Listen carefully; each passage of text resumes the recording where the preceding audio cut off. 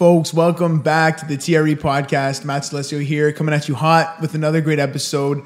We're coming off a little bit of a break, so thank you for your patience. But I promise you, we've been working very hard in the back end for creating some really great content.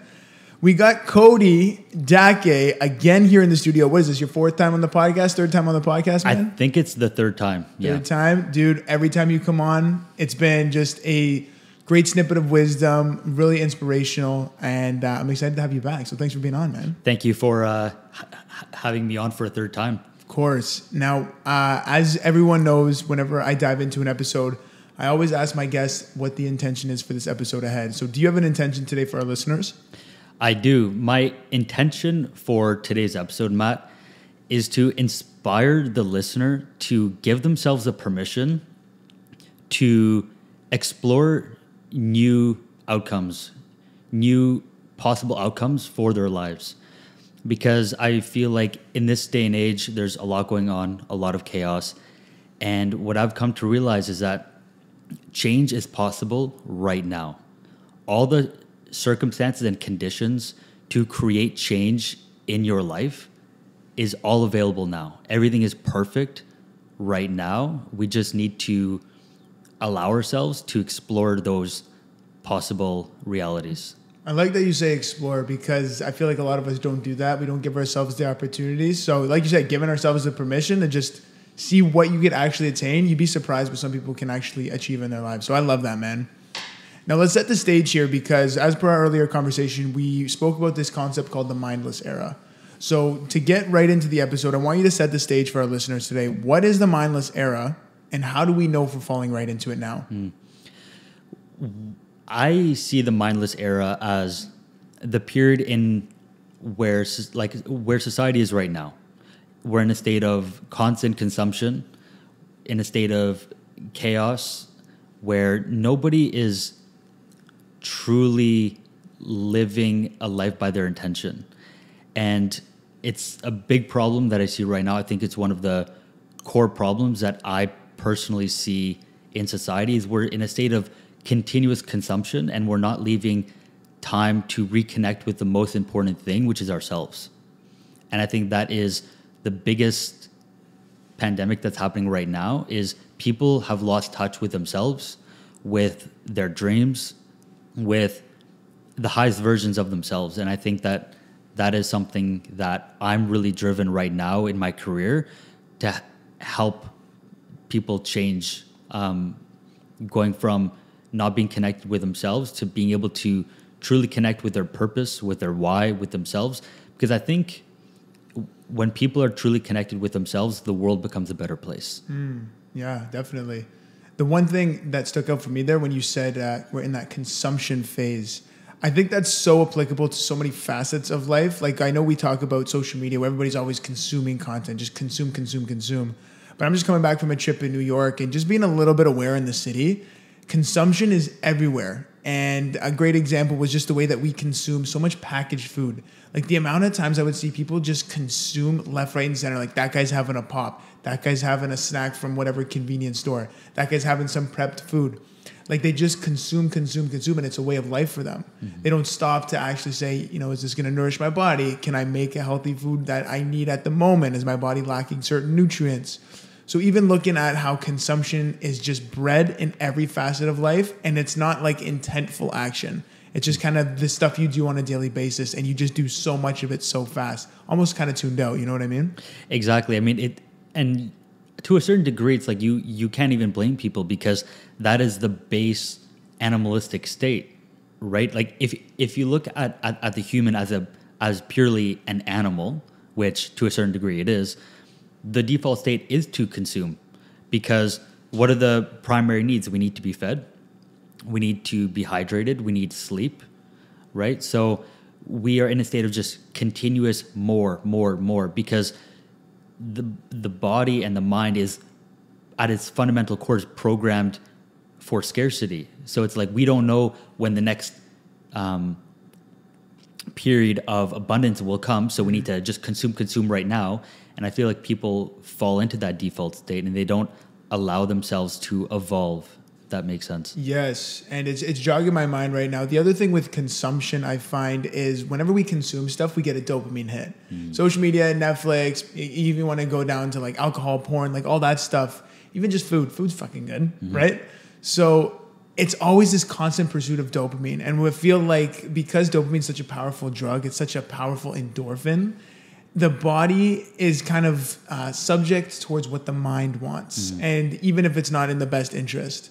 So understanding like the constant pursuit of dopamine is also contributing to a little bit of that mindless automated behavior, wondering why you're kind of stuck because dopamine's addicting, man. It really is. hmm Well, yeah, and I was actually just having this conversation with a client two days ago, and you know how I was explaining to him was that like imagine this dopamine that they're chasing. It's a it's a finite resource inside of your brain. You have a certain amount every single day that your body has in store. So if you start the morning with scrolling, with pornography, or with um, high fatty foods or whatnot, you're going to drain that system very quickly. So then you're not going to have the drive to pursue anything meaningful throughout the entire day. And so if you do this day after day after day, you're going to be drained of the key um, Motivator. che- chemical that that propels you to achieve things.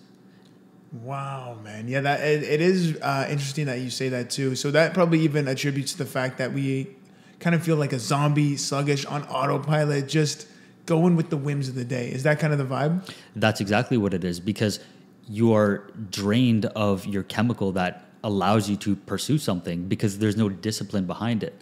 So that's why it can be really difficult to propel yourself into action because your your dopamine systems are completely shot. Dude. Okay, so then in that case, this, this conversation is kind of going down that road. Is this uh, mindless era pretty much self imposed, or are there other factors at play we need to be aware of here?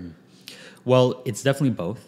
The the the part where it's not self-imposed is that we've all done this collectively, right? Of just, you know, hyper capitalism, hyper consumerism for the sake of profits.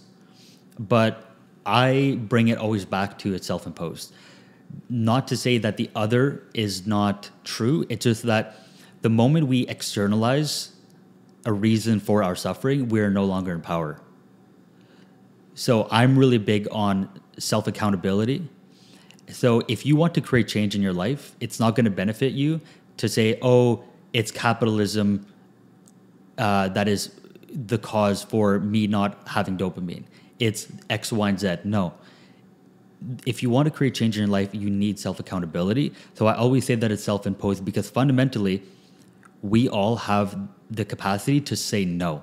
We have the mm. we have the capacity to say no to the food, no to the pornography, no to the scrolling. But again, it's that takes self accountability and discipline. Absolutely, man. Now, uh, I love that we had a real line on the direction for this episode, shifting our focus back into intentional living. So, kind of what you just touched on there with a little bit of self accountability, but can you dive into what you mean by intentional living and shifting back from this mindless era? What does that look like for someone? Living an intentional life is exactly what it sounds. It is living a life by your own intentions, by your own desires. And I see it as living a life by your design, meaning that you are consciously choosing to live a certain way despite of your past conditioning and your past programming. Right? Now that requires conscious effort. That requires you to wake up every single day and make a conscious choice to act a different way despite of how you may currently feel. I like that. And even to define it a little bit uh, in a different lens, I always like to say the exact opposite so people understand like the way I'm currently living is uh, really, really um, far off of what we're talking about with intentional living. And I would say the auto, the uh, opposite of that is like autopilot, living on autopilot. And I believe there's two ways you live in autopilot. Is number one is you're kind of told and shuttled into a way of life. And number two is just being in a reactive state constantly. So a great example is we should want like we follow that social script. We should date that person because X, Y, and Z says. Like we're just told to do that, and because it's we're in that docile energy, like you said, it's not intent intentional, purposeful living. We find ourselves going down this path, wondering how the heck we ended up getting there. So for one, that's autopilot being told what to do. Number two is the reactive autopilot. So you're just trying to play catch up all the time. You're not in this place of control to make conscious choices, to make intentional choices. So we're just playing catch up with a to do list. We're playing catch up with work. We're playing catch up with errands, with texts, with everything. And it always feels like your head's never above water. It's mm-hmm. always below. You're always trying to keep up. So there's two ways to look at intentional living from the exact opposite, which I think helps define it for listeners. Yeah. And I feel like that reactive state really ties back into we are reactive when we are operating by our program because something happens in your external world and your program is designed to react to whatever circumstance based on your beliefs, your habits, how you choose to see the world, your attitude, etc. Mm-hmm. And so that's why mindfulness is so important living an intentional life because mindfulness the way that I see it is it separates us from the external outcome. It gives us like a buffer period where something happens to us and we can pause and we can reflect and ask ourselves, how do I want to react to this situation? And then instead of reacting, you're responding. Ooh, that's a nice distinction. You're responding. I actually had uh, Charday on the on an episode not too long ago, and she kind of talked about the same philosophy versus conscious inputs versus unconscious inputs or subconscious inputs. Kind of the same thing. Rather than just getting triggered and reacting and going into the whims of what your primal limbic brain is doing, you catch it in the act and say, how would the person I want to become or the person I am destined to be react or respond? So I think even just having that little nugget in the back of your mind as you go throughout your day to say like, yo, let me stop myself here before I say something stupid, before I engage in a negative behavior, et cetera, et cetera. Because then you can change the trajectory of where you want to go. It's more intentional living that way. Exactly. And like the thing about autopilot is that autopilot isn't inherently bad. The problem, like autopilot is actually a very good thing and we should learn how to leverage autopilot. But the problem is where autopilot is bringing you to. Mm. So it's like if you use the analogy of a plane, well, let's say you want to go to X destination, but your autopilot is bringing you to Y destination. Well, that's a problem because you don't want to go to Y destination, you want to go to X destination. So actually, part of living an intentional life and living a life by design is by learning how the mind works and using the autopilot to sh- course correct you to the destination that you want to go. Because if you were to fly a plane off autopilot, it requires a lot more effort because you always need to be in control of mm. the aircraft. Whereas if you can learn how the operating system works, you can consciously choose to set the autopilot on a different direction and help you there. Now, that does require conscious effort in the beginning, but as you start creating change in your life, start building momentum, positive momentum, creating change becomes a lot easier. It's not to say that it, it is easy, but it comes it becomes more effortless. And it's almost like improving your life and creating change in your life in a positive way becomes your automatic program. Yeah. And it's like it, it, it, it happens automatically. It's interesting you say that. That's a good perspective, like using autopilot to your advantage I think one of the other key distinctions here is if you are going to leverage autopilots through positive habits, is identifying and clarifying that destination. Like you said, it's that life by design. So don't just implement habits mindlessly or a trajectory mindlessly. Figure out where you got to go first because having that crystal clear clarity allows you to understand what actions to take, what type of characteristics you should embody, kind of like our earlier previous conversation, right? Mm-hmm. And I think that's another thing with this reactive living that a lot of us do, either on autopilot or just, you know, trying to maintain this like overstimulation of control, is you don't get to clarify what that destination is because you're in the day to day. It's kind of synonymous with working in your business versus on your business, right? You want that higher level bird's eye view. You want to know where you're going, how to direct your employees there, and be the leader to get them to that destination. But until you can remove yourself from that reactive state and define that piece or that place you want to mm. end up at, I think that's the first thing you got to do before you start implementing X, Y, and Z for autopilot. That is the exact first step that you need to do is you need to identify where you want to go because how do you expect to get to a destination if you don't even know where it is? Mm-hmm. Yeah. Right? Like that that that is the fundamental question. But I, I, I want to touch back on like for people who might be wondering like, okay, well, how do I use this autopilot to my advantage? Mm-hmm. Well, one very simple way we were having this conversation before the podcast was what is the brain? Well, the brain is a problem solving machine. It, it tries to solve problems. The problem is, is that most people are asking themselves disempowering questions. Why is this not working out for me? Why is it taking so long to achieve success? Why is money so hard to get? Mm. Well, your logical mind operates in a logical way. So if you ask yourself, why is it so hard to make money? Why does nobody want to buy from me? Your mind will be like, okay, well, let's go find reasons why people don't want to give us money. But if you ask yourself empowering questions, you ask yourself, why am I so good at what I do? Why is it so effortless for me to um, close prospects on, on, a call? And you start asking yourself empowering questions. Well, your mind is just gonna find the the responses to those questions. So it's about using your biology the way that it was designed instead of rewriting it. Yeah, absolutely. And I, there's one thing I'm going to add to that too um, is the concept that we're addicted to negative emotions and that negative way of being. I know you're familiar with this concept, but I'm going to lay it down for the listeners because it's fascinating too the same way that we like to perpetuate negative thought patterns because it feels comfortable is the same way that we will seek out behaviors that elicit those negative emotions to further reinforce that. I'll give an example in my life. Like when I was starting out, sometimes, especially on social media, I would always go look at views to see if like I was finally or I finally made it or whatever you want to call it. But I always knew like my engagement was a little low. And I was constantly going back to look at those real views to further reinforce like see i told you i wasn't going to get high views i wasn't going to get good engagement blah blah blah but now sometimes when i go post i find myself slipping back into it yes because i'm addicted to that negative cycle of you know what i need to blow up i need to do this i need to do that but i find the days where i just like let it do its thing i was like you know that was a good piece of content let me go out with the guys 5k 6k views 7k views it's like well i wasn't constantly checking and perpetuating that reality of low views low engagement. I wasn't addicted to that behavior for a second because I pulled myself back. So I think that was a really cool experience for me. And do you know what you did in that moment? Is it resistance? You got out of your own way. Mm, elaborate. Getting out of your own way, I think, is one of the quickest ways to creating change in your life because we have, like you're saying, we have these fears, we have these perceptions, these beliefs. But what, what about what we believe to be true? We think that we're not worthy of achieving 10k views, whatever it is. And so for me, I like to like I define a successful day if I was able to get out of my own way.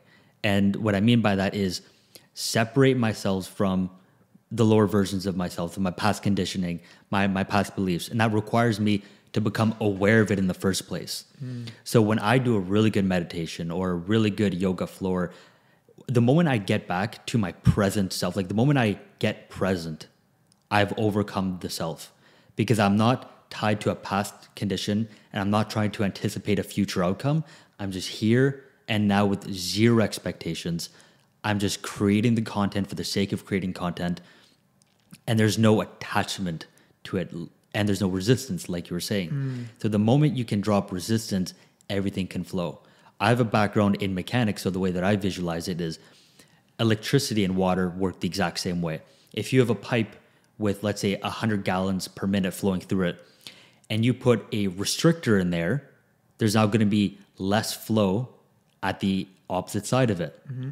because there's resistance so if you want to increase the flow you can try to pump as much water down the inlet as, as you want but there's a restriction in there that will prevent a certain amount of water from flowing at the end mm-hmm. so the moment that you remove that resistance everything can start flowing through so it's not about necessarily adding more to your life. It's about removing as much as you possibly can to allow things to flow through you. It's it's kind of like the analogy that a lot of people use on like our consciousness, our vibration, our growth is effortless because it rises, kind of like a buoy in the ocean. It wants to rise, but we need to cut off all of those anchors, all of those weights that are holding us down.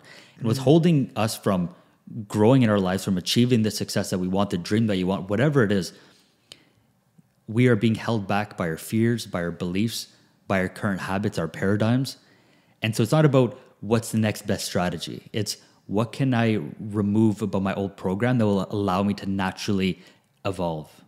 That's a beautiful analogy, man. Really, really well articulated. And I'm going to just tack on to it too. I had a friend come back from um, Nepal same time you were there actually. She was doing a yoga instructing uh, certification, and she learned one of the other essential elements that she never knew about because we know air, fire, water. What's the other one? Uh, air, fire, water, earth, or whatever it's called.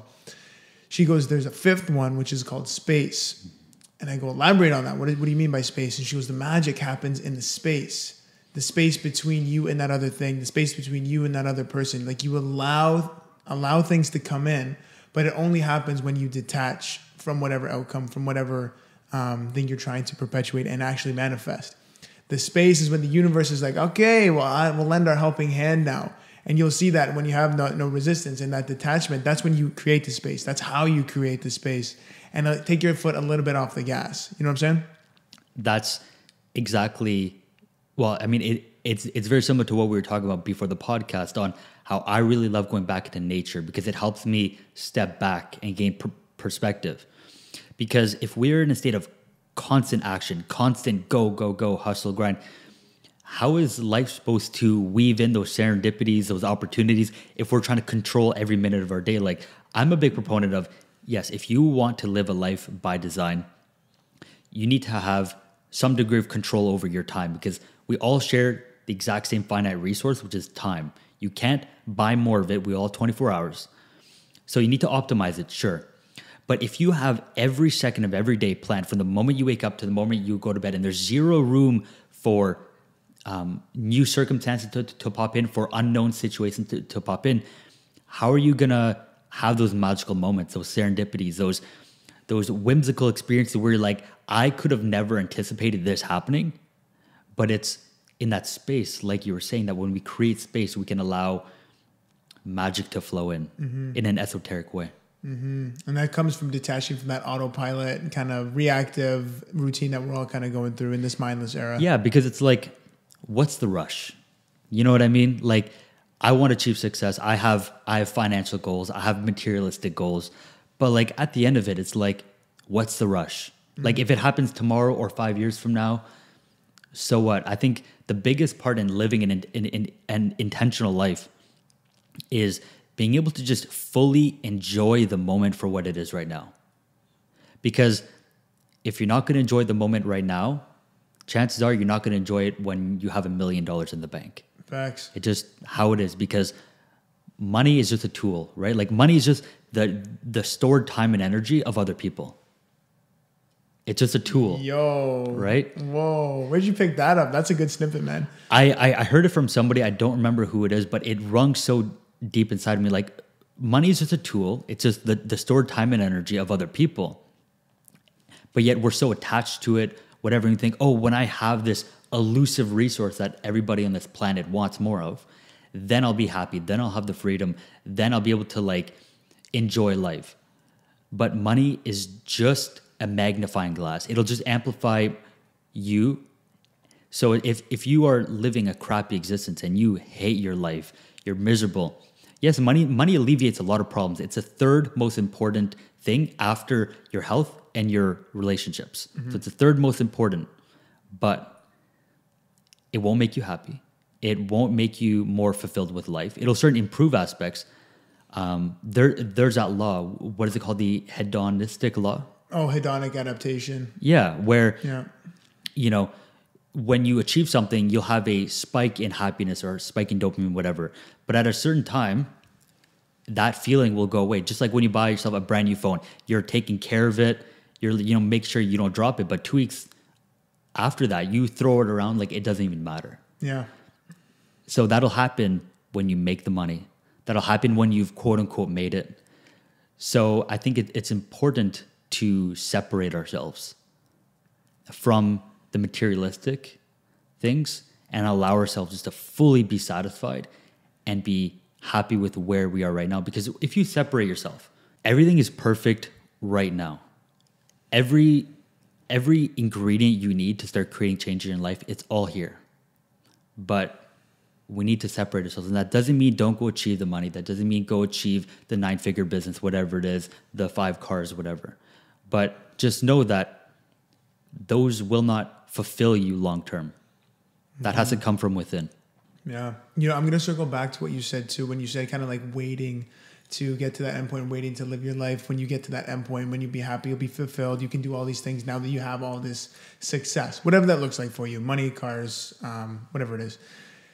I used to be the exact same way.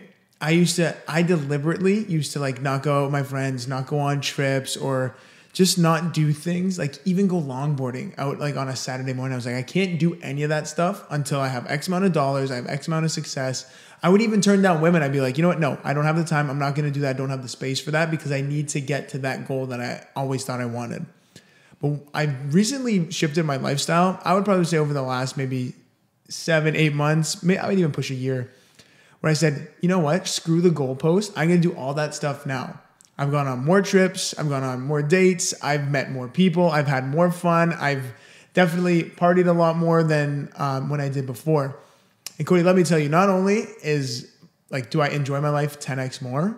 The abundance and opportunity that comes in now because I've created space and that detachment from that goal, I started just living my life how I wanted now.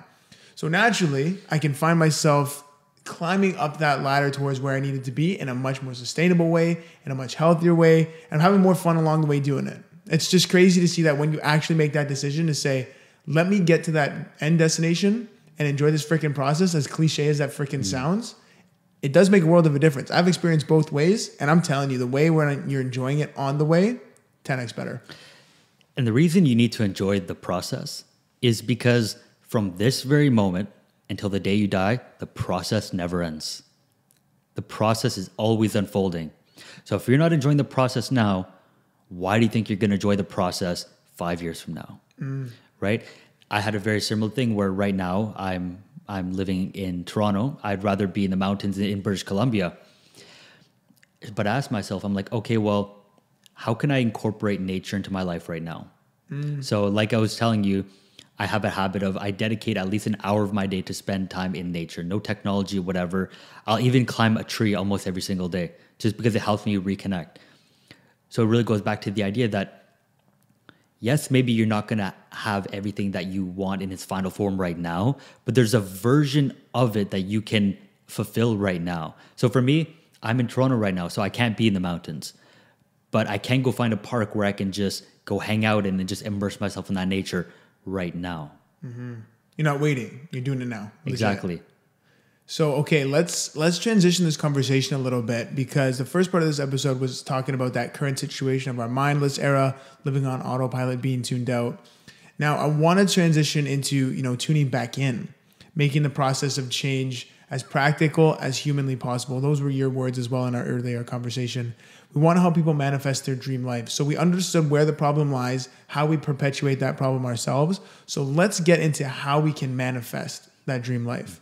So again, set the stage here. Like, what is manifestation for someone who is very unclear about what it means? Because this could be a new age juju topic, but it does pack a punch. And I know a lot of entrepreneurs and people who are in that analytical business world, they all talk about this manifestation. So let's set the stage.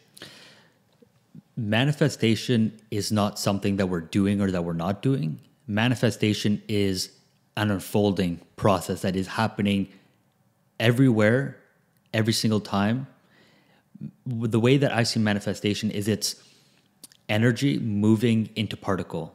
It's thought turning into thing. It's an unfolding. It's it's a becoming. Mm. So the most practical thing that I that I can use as an analogy is think of the the light bulb, right? Thomas Edison invented the first light bulb. That was just an idea before. People b- before him would have never have thought of this idea of this thing where you can press a switch and a room illuminates. That was just an idea that existed in the in the ether, right? But he got this idea and he turned that thought into thing by using himself as a vehicle to materialize the concept of a light bulb to now it's a staple in all of the world. Mm. That's manifestation. It's not this thing where you sit there and you think about it and magically shows up on your lap. It is turning thought into thing, idea into form, and also from thing back into energy. So when you know the human body dies, it decomposes and it moves. That's manifestation. It's the continuous transmutation of energy. Oh, continuous continuous transmutation of energy. Ah, I mm. like that, man. But even on that uh, conversation with uh, Edison, did you say Edison? I can't remember. Yeah. Yeah, Edison.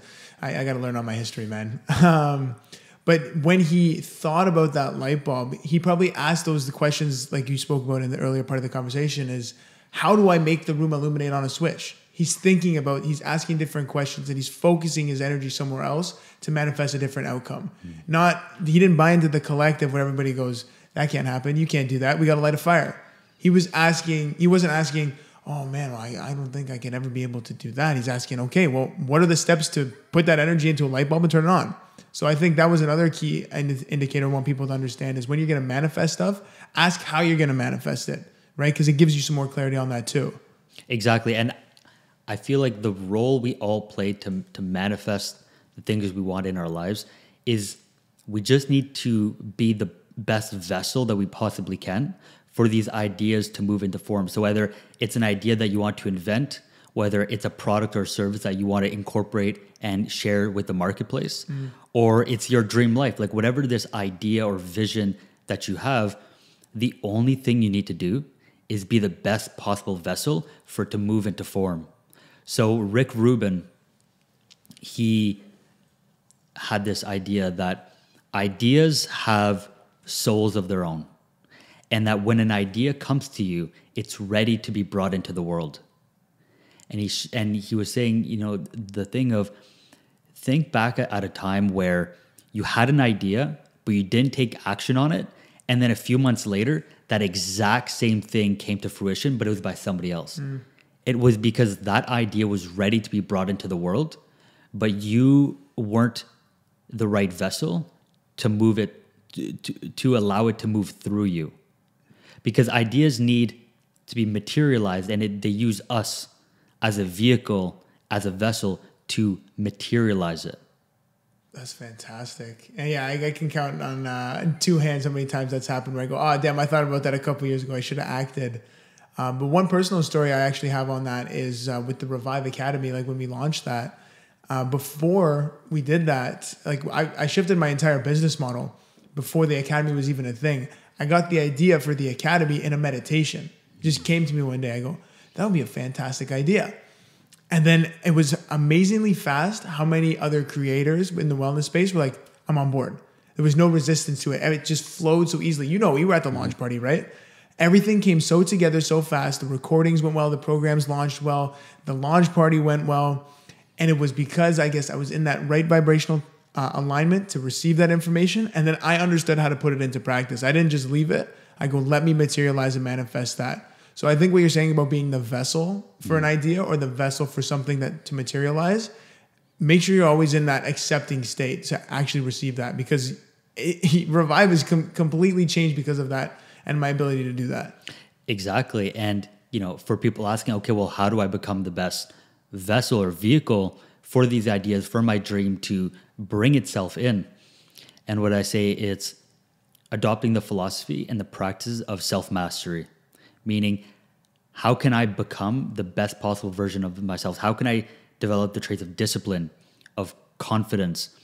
How can I have a strong mind, a strong body, have strong relationships around me?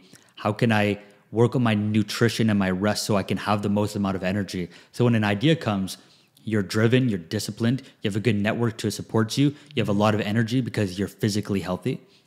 These are all the traits of a healthy vehicle where when that idea comes, it can effortlessly move through you. Because if you're not treating your nu- nutrition properly, you're not working out, you're overweight, you're lethargic, you're kind of like stuck in this like half droning phase. How are you supposed to materialize an idea, let alone your dream life? That's true. So that's why, you know, Jim Rohn, one of my favorite personal development uh, mentors, he said if you if you want to make a living, work hard on your job. But if you want to make a fortune, work hard on yourself. I love that, man. I love that. But yeah, it's a true testament. Like you can't take action on your business, on your relationships, on your even on your health if you're not healthy or you're not at least willing to put in a little bit of uh, uncomfortability to start making improvements in each of those areas of your life. I like that, man. But now, from our earlier conversation, I wanted to ask you about tuning back into our purpose. I think that's a huge one, especially when we're gonna talk about manifesting our dream life. Purpose is an integral part of this. So, what do you what do you mean by this? Like tuning back into our purpose. I know you even have a good story on this yourself too. Mm. Yeah, this is a very big problem in the entrepreneurial business space of being connected to our purpose. Mm. And what I mean by that is we live in a society where we all have a very gen- generic idea of what success is. It's the nice cars, the nice house, the beautiful partner, um, this idea of like we've made it. Now that's all fine and all. There's nothing inherently wrong with that, but in in my experience, coaching, I have found that the people who say that they want that, they actually don't want that. They want it because they want to prove to other people that they are capable or that they are worthy. Mm-hmm. So it usually stems from a place of unworthiness, of wanting to prove themselves to other people because in their childhood they weren't good enough or they got bullied and they weren't enough. So they want to prove to people in their later years that they were enough. Again, nothing inherently wrong with that. But the thing is, is that it's if it's not our true purpose, our true why in life, it's there's always going to be some degree of resistance because it's not truly connected with that deeper sense of meaning. So yes, you you will still achieve that that goal because pain is a fantastic motivator. It's probably one of the best motivators we have as humans. But what will happen is we'll get to that end state, we'll have the nice cars, we'll have all of this, and we'll realize, shit, this didn't make me happy. Mm. This didn't fulfill me. And then that's why you'll see people in, in their later years who have made it, they'll have these these awakenings and they'll realize that oh crap what really mattered was what I was truly passionate about, what was truly driving me. And that's not to say that you need to monetize what you're passionate about, but there needs to be an avenue in your life where you can connect with that deeper sense of meaning. That's so true, man. I, have even experienced that firsthand too. You sign X amount of clients, make X amount of dollars for whatever in the entrepreneurial space that I'm in. I wake up, I go, yeah, I still I still feel like garbage today. I still feel like garbage. Meanwhile, I thought I'm like, okay, once I make make X amount of dollars, I'm chilling, I'm good. So I've even experienced that firsthand. So what you're saying is very factual. And it kind of goes what to Jim Carrey said, like I wish everybody can experience that so they understand it's actually not the answer. Because everything is always the grass is always greener. When I actually do make that, I will feel happier. Whatever these people are saying who have the money, they don't understand. Mm-hmm. But I think like if you actually did experience it, you'd be saying the same thing as everyone else. Mm-hmm. And I think that's a really big thing about this the race, the grind, the burnout culture, that personal development community that we all got going on right now, always pushing us to strive more, always pushing us to achieve more. So I want to know for you does this whole industry or this whole collective and community push us away from our purpose or does it actually pull us towards our purpose? I feel like initially it pulls us it pushes us away from our purpose initially. Okay. Because we will chase the next hot thing. We'll chase what everybody wants, the the nice Lambo or the or the red Ferrari, right? But then in the later years it will pull us back to our vision because we'll get so far away where we get to rock bottom and then we'll realize shit, that's not what it was and then we start the path of rediscovery. Mm-hmm. So it's kind of a twofold approach, but you know, I think fundamentally the sooner we can reconnect with our purpose, the more fulfilling and the more aligned our life will be. Because again, like it goes back on what we were saying earlier that money is just a tool. And most people say, Oh, I, I, I want more money. Like I, I ask a lot of prospective clients of mine, what's your goal for the next six months? And like, oh, I want to get to like 20K months. Cool, but like what are you gonna do with that 20K months? Like, why do you want that much um, tool or like why do you want that much leverage? And like oh uh, i haven't really thought that far. I'm like cool so like you just want 20 grand because you think 20 grand is like the outcome? It's like no it just it, it's a vehicle that will fuel a certain lifestyle.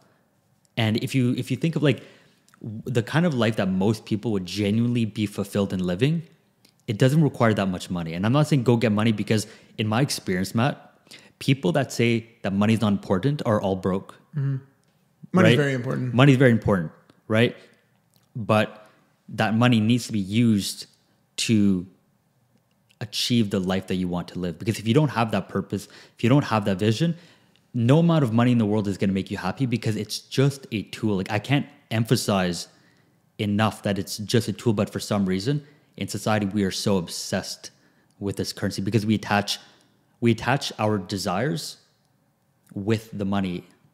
Yeah, you know what? I'm gonna, I'm gonna, I agree with you, and I'm gonna relate it back to health, um, just to give some sort of uh, dynamic here. When we're talking about the pursuit of money, or they want that 20k a month for whatever reason, but they don't actually understand why they want the 20k, how their lifestyle is gonna look, what they're gonna be doing with their time. It's kind of the same thing that I went through with uh, like body image in that sense. A lot of guys, I know for a fact, we see ripped guys on Instagram. They're shredded, they're big, they're jacked it's only natural to follow suit to that. And I I remember at the beginning of my gym journey, whatever you want to call it, a journey, I was head down, lifting heavy weights, consuming crazy amounts of calories, eating whatever because I knew in my head, I go, I just want to look big. I just want to look jacked. And that was kind of where it stopped. But again, it never, no matter how big I got, no matter how fit I looked, no matter how many compliments I get, I never felt like I was looking in the mirror going, yeah, I like that. I look good today. Barely ever. It wasn't until I understood what I actually genuinely wanted was I want to feel healthy, I want to feel energized, I want to feel good. Now, when I go to the gym, it's a much different energy. It's a much different uh, excitement. Before, I would hate going to the gym. 5 a.m., I go, man, I'm so tired, but I got to hit it. I got to look good. Now it's like, you know what? I'm to sleep in a little bit today. I'm to go do a lighter afternoon session. I'm going to just move my body because I know it's going to make me feel good. I'm not going to consume all these crazy amount of shitty calories because it's, again, not going to make me feel good. Am I going to lose a bit of muscle, a little bit of size? Absolutely. But I'm tuning back into my purpose, which is health, feeling good, feeling energized. It's a much different um, experience once you clarify that. Yeah, and what I'm about to say, a lot of people might disagree with at this at the surface, but I believe this to be true. Is if you look at some of the most successful people, they're like, your feelings don't matter. You're gonna hate most of the process. It's gonna be hard, gruesome, whatever. And they're wildly successful, so people subscribe to that. And there's nothing wrong with that because again, pain is a fantastic motivator, and you can will yourself to overcome anything despite of how you feel. Now, also, but the thing is, is that how we feel is so important. Like we can only control our thoughts, how we feel, and the actions that we take. Now, that's not to say that we should let feelings stop us from taking actions, especially if they're in alignment with our goals. But what I'm saying is that, like, if you're not enjoying it, like, if you hate going to the gym every single day, then do like figure out a form of exercise that you will enjoy. Because if you hate every step of the journey and you're just determined to get to that outcome, then what's the purpose in even living? Like, yes, there will be times where you don't want to do it and you're gonna show up anyways. But for the most amount of the time, like you have to at least enjoy what you're doing. Because if you if you're not enjoying life, then to me that sounds like a very miserable existence. And I don't want personally to live a life that is miserable and I hate most of it. Yeah, absolutely. And you bring a different energy every time you show up to it. Like Yeah. you just you don't care about the business, you don't care about the gym, you don't care about the relationships. Like you're just doing it to do it. It's a much different vibe. Exactly. Like a very quick analogy, like I don't really like doing weights in, in the gym. I find it boring. Hmm. But what I do is I do calisthenics, I do rock climbing, I do mountain biking, I do outdoor adventure sports because that's what I love. And I get really fit doing it Yeah. because I chose to do what I love. Some people will love dancing, some people will love swimming. So it's like just find the. This is something that I heard once by Abraham Hicks, and I guide my entire life by it. This is how powerful it is. She said, if you're stuck right now and you don't know what action to start taking that's in alignment with your highest self, follow the excitement follow the excitement. So if you if, if you're if you're laying in bed right now and you're you're down bad, you're not doing well mentally, physically, whatever it is, ask yourself, what is something that I can do right now that will give me even just a little bit of excitement? Is that is it is that, is that like a nice bath? Is that going out in nature? Like make myself a nice warm tea? Like what what will generate me a little bit of excitement? And once you start following that excitement, that is the path towards alignment. You'll slowly find it as you continue to engage in those habits. Exactly. And Yeah. I, I, I want to um, reemphasize you're not always going to enjoy. There are going to be parts where it's not always fun, but for the most part, man, find that excitement because everything will start to unfold better and faster than you can ever imagine if you're acting in accordance with your higher self. Yes, I think the other thing to add on to there is when you start engaging with that stuff, it's very effortless. It, it's not hard to stay consistent. It's not hard to get up. It's it's not hard to recover from it, and you feel energized after it. Those are all good indicators, like you are on a path of alignment. Exactly correct. Right? So let's talk into the actual like mechanics behind this manifestations and change because I know with a lot of your clients, you want to make this change and manifestation as practical as humanly possible. So like what is your number one way to help us jumpstart this? I know you said follow the excitement, but what's something else like the number one that we can do here? Well, the process of change is quite simple. And the way that I break it down is first you need to identify where you are right now and the destination that you want to get to. So this means building a vision for yourself. What kind of life or objective do you want to achieve? Because again, like I was saying, how do you expect to get somewhere if you don't even know where it is? So you need to at least start identifying that process. And it is ever unfolding, but at least get a, a pretty clear image of, of where you want to go okay. right now. That's the very first step. The second step is what I would call character development or this is uh, like pattern detection, and it's identifying what is the what kind of characteristics do I need to incorporate in my life to start being a match to that vision? Because again, it's it's cause and effect, right? It's that the thoughts, the feelings, and the actions that we take are going to get us those results. It's cause and effect. So once we know where we want to go, we can start identifying how do I need to be thinking on a daily basis? What kind of actions do I need to be taking? What, how do I need to be seeing the world for me to be a match to this? And once you start identifying the person we need to become to be a match towards that vision, then we can systematize and break it down and look at okay, what are the highest level habits or highest level beliefs that will move the needle the furthest in my life right now? So let's say you're like, okay, I lack discipline, I lack confidence, whatever. Okay, well, so let's work on the discipline right now because if I'm not disciplined, that's a very fundamental character trait that I need to, to develop to get to my goal. Mm. So I'm gonna start working on that habit. And you start going through, you go down this list from top to bottom, from most important to least important, and you just work on these habits, work on these beliefs systematically until you become that guy that is a match to that vision. Like that's why if, if you take a, a multimillionaire and you take all his money away, all his contacts away, it's only a matter of time until he gets all of that back. And that's because he is a person who has the standards to achieve that amount of money, that amount of success. Yeah. Yeah, it even goes back into his identity probably. Like he understands that, you know, money isn't and money doesn't bring him his confidence. Like the fact that he can make that money is the same thing. Same thing with body image. Like if you, if you just believe you're a fit person, a healthy person, you don't need all like the clothes to make you look a certain way. You don't need the angles in the gym to make you look a certain way. You just believe that. So again, it helps you take actions uh, more aligned. So I'm assuming this is also what you meant by uh, systematizing again that process of change. It sounds like it's very like one, two, three, four. This is the pattern to go ahead and manifest that. Is that what you mean by that? Exactly. Yeah. And and I mean the the initial phases of building a vision, identifying your purpose for achieving this vision, which is also very important. This is more esoterical. It's more abstract. I figuring like, okay, if there were no limitations, like what kind of life would make me excited to wake up in the mornings? Once you get that, then you can slowly start becoming more practical. Like, okay, I know where I want to go. I now know the person I need to become. I know the character traits, the beliefs, and the habits that I need to incorporate in my life, the kind of standards I need to at least be a match to this. And then now I have it in a list, and now I can systematize it. I can go from habit one, two, three, four, and I work on them one at a time until I slowly become that person. Because the one thing, the one mistake people do is New Year's comes along and they try to change their entire life in one big go. That doesn't happen because you don't have momentum in changing.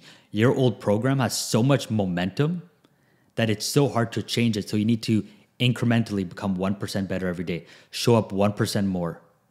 And that that change will start creating momentum where eventually you can create so much change in 24 hours because you've built momentum. But initially, you need to start from the highest level leverage habit and work one by one to incrementally change this person and, and it'll compound over time.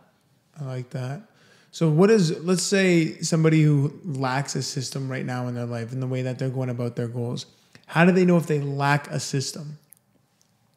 You lack a system if there's no consistency in your life. You'll have positive months, negative months, highs and lows, and it kind of wavers. You don't feel like you're making progress. Like you feel like you're stagnating and there's no real growth. Like either things are going really like really well one day and then really bad. And there's just not a lot of consistent momentum in a singular direction. Mm-hmm.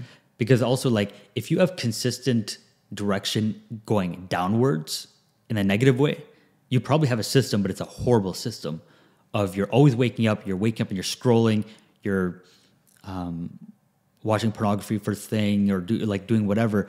That that is a system, but it's a negative system. Mm. And so the process that I outlined of identifying a vision, identifying your reason for achieving that vision, identifying the person you need, you need to become to achieve that vision, and then in a systematic way, slowly becoming that person by incorporating the the habits.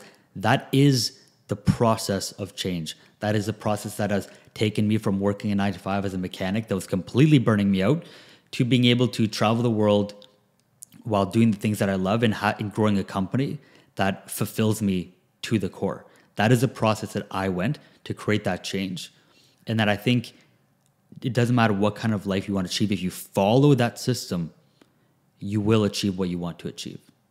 So, Cody, today, as we come at the end of this episode right here, I want you to leave listeners with one piece of advice you'd give to old Cody, who's struggling with that change, burnt out, directionless, unfulfilled in his pursuit towards a greater life.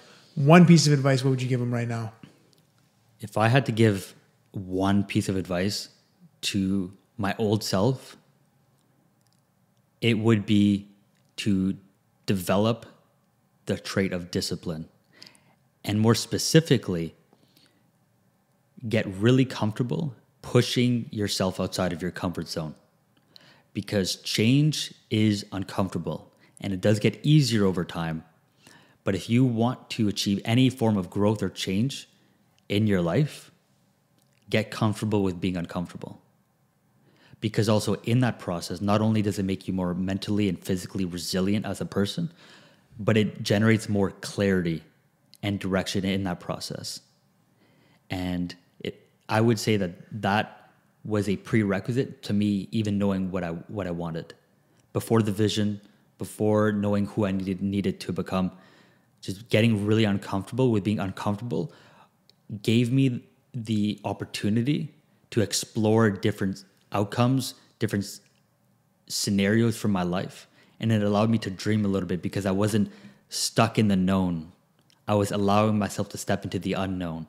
And I think that if I would have told myself, surrender yourself to the unknown, get really comfortable with that, your life will change faster than you can ever imagine. And that's exactly what happened to me. Beautiful, brother. I love that, man. We're gonna wrap up here, so plug yourself. Uh, where can listeners find you, connect with you online? Um, because we're gonna send them somewhere after the show. Where are we sending them?